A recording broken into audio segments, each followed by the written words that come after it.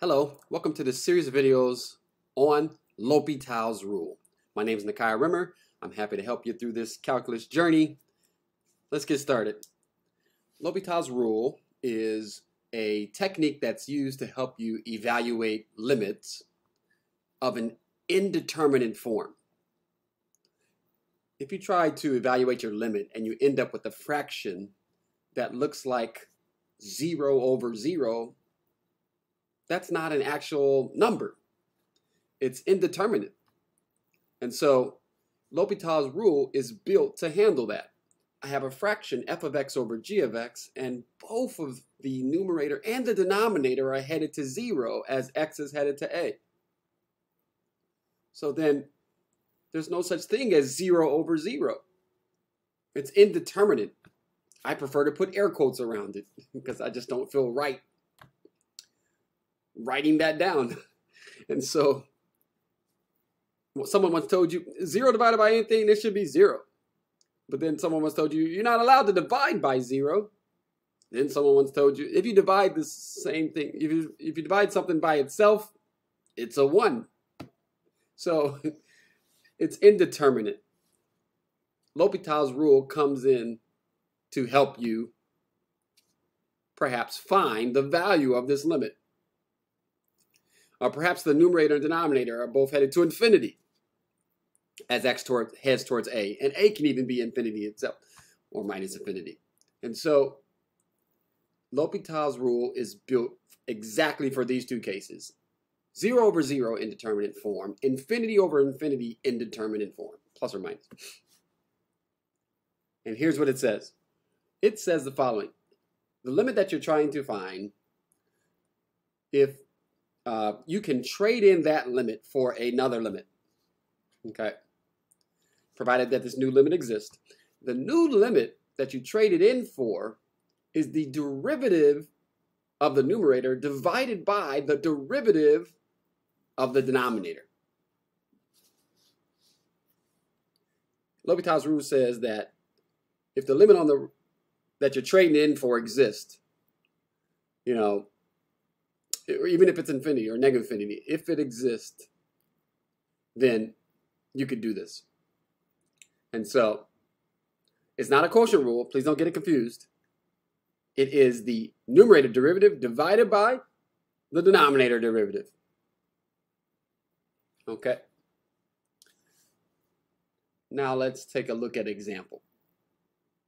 My first example is x goes to 1 and my numerator is x to the fifth minus 1. My denominator is x to the ninth minus 1.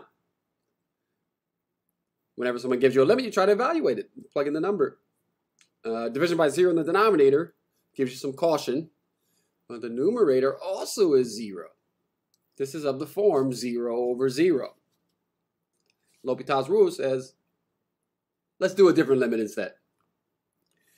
Let's take the derivative of the numerator. 5x fourth. Let's take the derivative of the denominator, 9x eighth. Let's take that limit instead as x goes to 1. I like to announce when I execute L'Hopital's rule by putting L apostrophe H above the equal sign. Well, now you try to plug a 1 in, and you're going to get 5 ninths. You did it. You executed your first L'Hopital rule question. Good job. Now, the difficulty level there was very low. So let's ramp it up a little bit. Example number two. We have trig. x is headed to 0. Sine of 4x divided by tangent of 5x. Try to plug a 0 in. Denominator gives you 0. That gives you a second of pause. Tangent of 0, 0. The numerator gives you 0. So then, perhaps, L'Hopital rule will come in to help you. So, we trade this limit in. What is the derivative of the sine of 4x? Mm, the cosine of 4x times 4. What is the derivative of the tangent of 5x? The secant squared of 5x times 5. So now you try to evaluate this limit. We've executed L'Hopital's rule. It says that those two limits are the same. The cosine of 0 is a 1. The secant of 0 is also a 1. The answer to this limit is 4 fifths. You've executed your second L'Hopital rule example.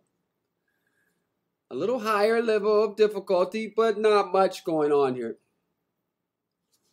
Let's turn the screws a little more. Now x is going towards 0. And we have numerator is x. Denominator is the arctan of 8x. Numerator is definitely headed to 0. The arctan of 0, also 0. L'Hopital's rule. So the denominator derivative is quite complicated. Numerator derivative, it's a 1. So if when you have arctan of a different of of a function, then the derivative of that is 1 over 1 plus that function squared. And when that function is more than just an x, the chain rule comes in and says multiply by the derivative of that function. So you have 1 over 1 plus the quantity of 8x squared, and then it's times an 8. All right, the quantity of 8x squared, that's just 64x squared. Our denominator is 8 over 1 plus 64x squared, which can be rewritten as 1 plus 64 8, uh, x squared on top of 8, since it's 1 over that. X goes to 0. Numerator goes to 1. The, the result of this limit is 1 eighth. Very good. Well, we have executed three limits at 0, or one limit at 1, and then two limits at 0. They are all of the format of 0 over 0, and they weren't that bad. Good job. Um, let's try one more. Let's try one more. Limit as x goes to infinity. The natural log of x quantity is squared. That's not the natural log of x squared. Right? It's the natural log of x quantity that's squared. So L, uh, ln of a large number is eventually large. It takes a long time to get large. Uh, when you square it, it's going to get larger. So the numerator is headed to infinity, and of course the denominator is also headed to infinity. This is our first example of this particular indeterminate form.